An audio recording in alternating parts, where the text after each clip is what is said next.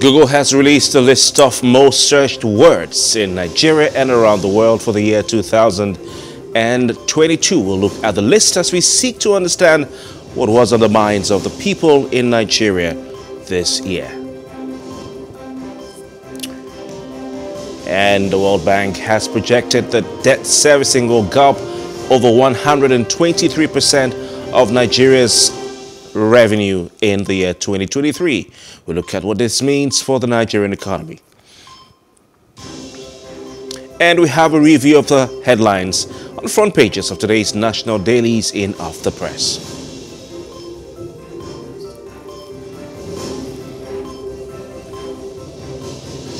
And we're back with the Breakfast and Plus TV Africa. It's a beautiful, beautiful uh, Tuesday morning, and we have fantastic conversations lined up for you. My name is Kofi Bartels. Um, a top trending segment, as usual, is what we start off with, and uh, this is something that I'm sure will um, interest you. Um, a lot of people have been commenting on this actually on the social space, and that's what we do on the top trending segment, which is we take the conversations online and bring them on television. Um, this is what we call a viral video uh, showing a Nigerian man confronting officials of the Vehicle Inspection Office, VIO. You know, if you have ever driven a car before in this country, you probably are, are tired of these guys because they will always be somewhere looking for faults in your vehicle. You know, faults that you would say, well, I mean, there, there are many cars moving around with that, you know, let me go. But hey, um, this is probably uh, a young man uh, you know, venting his frustration. He took it out. He took it out on the VIO officials, uh, and they were seen driving without their seat belts. All right. So uh, one day the bush bushmeat go hunt the hunter is a song that is popular in Nigeria by the late Sound Sultan and uh, Two-Face Idibia. Let's go to that clip. Let's, let's just look at it. We'll come back on the other side. Watch. But this is a VIS vehicle. Who is not using seatbelt? So I'm going down. you can see this vehicle. Sorry, excuse me. Why are you driving without seatbelt? Why are you driving without seatbelt? You will arrest Nigerians for driving without seatbelt. But you yourself You can see them.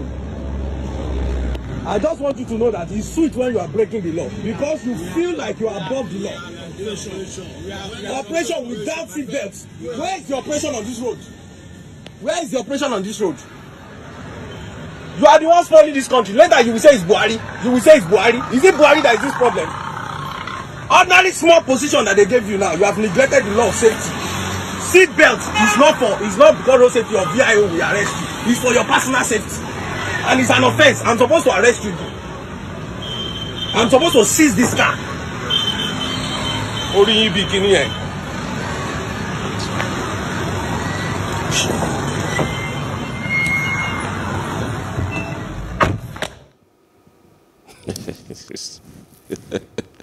oh my god! I think I think all I have to do is just to give them a round of applause. Give him uh, a round of applause for that. I think we should just put our hands for together for this young man. Clap, clap, clap, please clap, clap, clap, clap, clap, clap, clap, clap, clap. He deserves a, a round of. We need to look for the gentleman and give an award. You see, th that is what we want to see Nigerians do. That is what we want to see people in this country do. All right, stand up, stand up, and stand for your rights. I mean, this is maybe one in 1,000 or one in 10,000 would have in this country will have the, the guts, you know, the boldness to do that. But it's your right. You can take a phone. You can film policemen. You can film military breaking the law. you film military breaking the law. I, I, didn't say anything. Oh, if you go, going to give you a slap that's going to last you one week before that slap gets to your head, your brain. Um, I know they. All right, I'm not there. I, you don't know me. but on a serious note, I think I think I mean it's it's important people realize they have a right. Uh, I've been a beneficiary of police brutality. Why? Because I saw them, you know, um, brutalizing uh, a young man, a young boy, somewhere in this country, and I decided to do my journalism, and I filmed them from a safe distance. You know, they were seen. Somehow they saw me, and I was beaten up, and you know, uh, till today I might have the scars and the pains on my legs, but. Um, I got a lot of, you know, reactions. People said I was stupid, I was not wise, I was foolish for filming official salesmen, you know. But the thing is this, is someone has to, has to do something, you know. Someone has to do something. You never can tell what these VI officials are going to, maybe they're going to have an accident and die, God forbid. So this guy probably would have saved their lives. But this is a conversation we need to have. The keepers, those who are meant to be the keepers of the law in this country, are the breakers of the law. I'm talking from the very least to the highest. Now, I'm not saying that Nigerians should break the law. No. But I think that the least the Nigerians deserve from these guys uh, who are the keepers of the law. I'm not just talking about law enforcement officials, but also public officials generally, is that they should at least give Nigerians the respect of doing the right thing, holding themselves to the standards they're holding Nigerians to. I mean, if you go into the constitution of the Federal Republic of Nigeria, you flip to the back, all right? You look at the schedules there. There is something called a code of conduct for public officers. It's very important. You know, it's very important. And a lot of things these guys do, I'm talking about those who are uniformed and those who are not uniformed in government, all right? it's against the law. So, and the Code of Conduct Bureau itself does nothing to prosecute these people. So, I mean, we can talk about the, the, the policemen who drive against traffic. You call it one way. I mean, you go to cities across the country, I can give you, I know about Port Harcourt. They do it every day. You see uh, traffic congestion on one side of the road, and they will switch to the other side and drive against traffic. Sometimes it's just one police van. Other times they're leading a convoy, a convoy of some VIP breaking the law. All right? I'd like to see one day that a Nigerian will park his car on the road and block them, and other people will come and then film them. Yeah, they're going to beat the person up, I know, probably. They're going to kick him, probably. All right? They might even fire shots, probably. But until people stand up, rise up to some of the nonsense we see in the country, it will continue. You know, it will continue. And I mean, yes, it may not be wise if you don't want to lose your life. Okay. But at what point does this rubbish, sorry to use that strong word, um, at what point does it end in the country? At what point? You know, at what point? Because, I mean, we're, we're going to leave this country. We lived in this country all these years. And one day, God is going to call us our children are going to come and meet these same things and say, oh, the parents didn't fight to make Nigeria a better place. You know. So are we going to be a country of cowards? Or a country that's, that, that, that stands up to those in, in positions of responsibility, I don't say power, responsibility, to say, do the right thing. Do the right thing. You know, people have hit their heads in the sun like ostriches for far too long. Okay? You can film a police officer if you think he's breaking the law. He has no right to stop you. But you see, we are afraid. That's why people will go to this guy and say, oh boy, make you no try him again. No, I'm sure you have friends who will be discouraging him. You lucky say no be police. No try them again. No, you get family. Uh, we be your friends, so make me just tell you the truth. That's pidgin English I'm speaking, sorry. You know, we're your friends, just want to tell the truth. Don't try it again. So when will things change? Now, VIO collects money from passengers, from motorists rather. Federal Safety Corps, that was a very, very clean agency. They collect money, bribes from motorists. Police, that one is a, is a normal thing. That one is a normal thing. It's a multi-billion naira industry, what the policemen do on the roads. Um, and now soldiers have joined in. I mean, military uniform, we used to respect it a lot. That respect is not there again. Because the soldiers have joined the police to stand on the road, bring themselves down to that level of collecting money from motorists on the road. It's unfortunate. You know, so so Nigerians need to do. I'm not saying you should go and stand somewhere and endanger yourself. No. Disclaimer: Don't do it. We're not telling you to. You have to now decide on your own. Right? If you feel your life will be endangered, you can decide to walk away. Don't don't film. But you know, when will things change? I will leave it at that, and we'll give um, kudos to this gentleman who called these guys out. But we're waiting for the head of the VIO in the country or in Lagos State, where I think this was filmed, to say something. We're waiting for them to say something. Most times they won't say anything because they don't feel that they are answerable to Nigerians. And I think if they don't say anything, the media in Lagos State and Nigeria needs to take up the baton, all right? From where, the baton, from where this gentleman has left it, to go and meet the VIO head and said, what are you going to do about these, these officers who did not wear the seatbelt? What are you going to do about it? People say, oh, you want someone's father to lose their job. You want uh, uh, to take bread away from some from your family. Really? Do you know how many families have suffered because of victimization by these, these public servants or officers? So we're waiting. I think we'll give an ultimatum to the VIO head. Me, I'm giving you 24 hours. I'm giving you 24. If you don't say anything, I'll send a reporter to you so that you answer or tell us what you're going to do to these officers. It's really sad. Let's let's move on. Let's move on. Sorry about this sensational aspect. But yeah, yeah, yeah. He has to answer.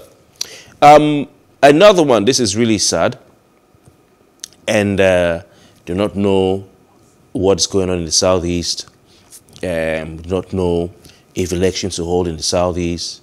Do not know I mean, there's a little conspiracy theories flying around. The offices of INEC in different parts of the southeastern Nigeria have been attacked, you know, in the last 12 months. Lots of attacks. We hear unknown gunmen, you know, gunmen and all that sit at home. No, it's been a bloodshed, bloodbath in the southeast over the past few days. Since um, a hoax, or should I call it phantom, sit at home was ordered, which has been uh, rejected by the indigenous people of Biafra and, of course, um, INEC. And uh, the headquarters of the Independent National Electoral Commission in Imo State, this time it's not in a local government area, but in Imo State, it's situate or situated on Port Harcourt Road, Imo State. Uh, came under attack yesterday as a gunmen invaded the office. What were they invading this office to do? You can see the pictures on your screen. Um, it was gathered, you know, by uh, some news sources that the hoodlums uh, were more than 10 in number, and they attacked that office at about 3 a.m. Imo State has been a recipient of um, lots of attacks uh, by so-called unknown gunmen. Lots of attacks by so-called unknown gunmen. We hear that more than three offices on the premises were touched, set on fire before the police reinforcement could arrive the scene to dislodge the hoodlums who, uh, three of whom were reportedly killed. Three of whom were reportedly killed. And um, look at those pictures on your screen. Uh, really sad one. They're really unfortunate. And of course, uh, again, these uh, unknown gunmen have struck and it's causing us to ask uh, what exactly is the motive of these attacks. All right, what exactly is the motive of these attacks? Why are they attacking INEC offices in the southeastern part uh, of the country? Well, the police public relations officer um, in, in Imo State spoke, you know, and uh, he had some things to say about that. But it's, it's, I think most important thing was that uh, three of uh, the officers, uh, attackers rather, were killed. Uh, why while two others were said to have been captured alive, and the police are said to be on the trail of the other suspects. The police public relations officer in Imo State is a CSP Mike Abattam. CSP Mike Abattam, uh, I don't pity him. I think he has his work cut out because of the plethora uh, of attacks and you know killings in Imo State uh, in recent times. I don't I don't envy him at all. Rather, that's what I meant to say. I don't envy him at all. He has a lot on his table. Uh, but the question is, what are the, for me, uh, the, the reasons behind these attacks? You know, what's the motive? Um, when you attack an INEC office, be it the local government office of INEC or the state headquarters of INEC, what's the motive? Uh, you know, at 3 a.m., do they want to steal, you know, voter cards? Do they want to uh, burn permanent voter cards? today, want to kidnap the REC? Um, it seems, it seems that uh, such attacks would probably be to destroy permanent voter cards. You know, probably. I don't know. Another reason, another motive could be that there's some people who want to um, scare people away from going out to vote in the southeast. Maybe there's some people who would feel that um, if people troop out to vote in the southeast, it's uh, not in their interest. They may want to do this. I'm just, I'm just trying to come up with the possible scenarios here. I'm not saying this is the situation. The police will have to investigate. Okay, they'll have to investigate, tell us what exactly happened. Uh, they killed three of these attackers, captured two, and now on the trail of the others. So they're 10 in number. Okay, that means five escaped. Um, so they should be able to get information. I mean, the police is used to doing what, call, what I call investigation by confessional statements. You know, most times they come up with results of investigations. It's through confessional statements. Uh, so we wait to get the reasons and why these guys attack. Is it because you know people want to scare some persons, want to scare um, uh, what do you call it, voters away in Imo State? Is it because some persons want to intimidate INEC staff in River State and to make sure that voting does not hold in Imo State, sorry, in the southeast? Is it that people want to destroy permanent voter cards so that people who have not yet collected them will not be able to vote, thereby reducing the number of persons who will be able to vote in Imo State? I don't know. This is what we hope the police can tell us. But it's a really sad one, and we'll be keeping an eye on, on that situation. All right, the final one, I'm sure a lot of you remember uh, that presidential candidate of the People's Democratic Party, Alhaji uh, Atiku Abubakar Turaki Adamawa, um, he had deleted his tweet uh, earlier, you know, condemning the, the murder of Deborah, the young woman, Deborah Samuel, a student uh, who was lynched in her university, uh, that is the Shehu Shagari College of Education in Sokoto State, for alleged blasphemy against uh, the Prophet Muhammad. Atiku Abubakar tweeted condemning the tweet, uh, the killing, and then he later deleted it. But you know what? People had already munched that tweet. You can see it there, and it was too late uh, when he deleted it. We already had copies. You know what he said? There cannot be a justification for such gruesome murder. Deborah Yakubu was murdered, and all those behind her death must be brought to justice. My condolences to her family and friends. And he since deleted the tweet. The suspicion uh, and the speculation out there is that he deleted it because he did not want to be uh, to incur the the wrath of um, uh, northern Muslims of Muslim fundamentalists who felt you know uh, you know killing Deborah was the right thing to do in defense of uh, uh, the Prophet Muhammad. You know, and of course, not a few people actually came out to justify why this girl, um, Deborah Yakubu or Deborah Samuel, uh, should be lynched, should be murdered in cold blood and burned. You know, they justified it because they said that the religion uh, forbids that blasphemy which she's alleged of, uh, of committed. Um, we don't know where her uh, killers are. Some people were arrested, they were taken to court. You know, there were so many lawyers who came to defend them. Um, it, religion is really a, a, touchy subject in Nigeria. Um, I mean, we hold religion in high esteem so much that I mean, you know, if you say anything against a Christian, you know, pastor or Muslim prophet, you know, you don't know what you to expect. So, uh, but the question is, with all our religion, where has it taken us to?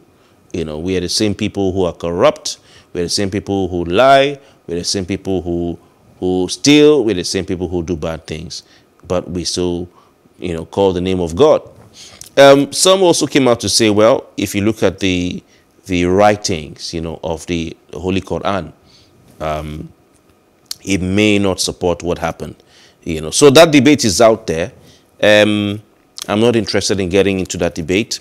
But what is, the latest is, as you can see on the screen, is that the presidential candidate of the People's Democratic Party, Atiku Abubakar, has stated that his uh, he deleted his tweet condemning the murder of Deborah Samuel uh, because the tweet was shared uh, without his approval.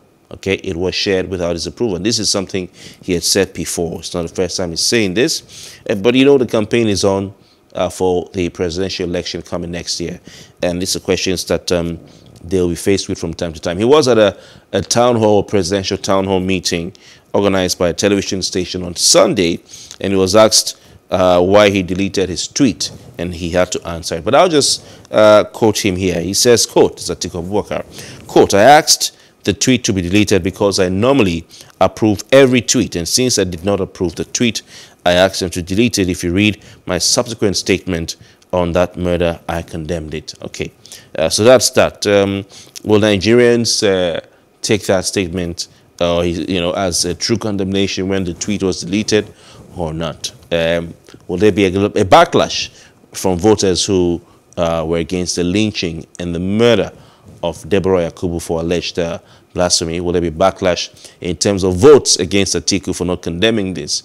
Um, only time will tell. But this is the country we live in, and uh, it always will lead people to ask the question, um, should Nigeria, you know, separate, um, you know, North go its way, South go its way, or should the country stay together because of the difference in values uh, of the two parts of the country. Thank you very much for your time. We'll take a break, and when we come back, we delve into um, off the press. We look at what the papers have for us. Stay with us.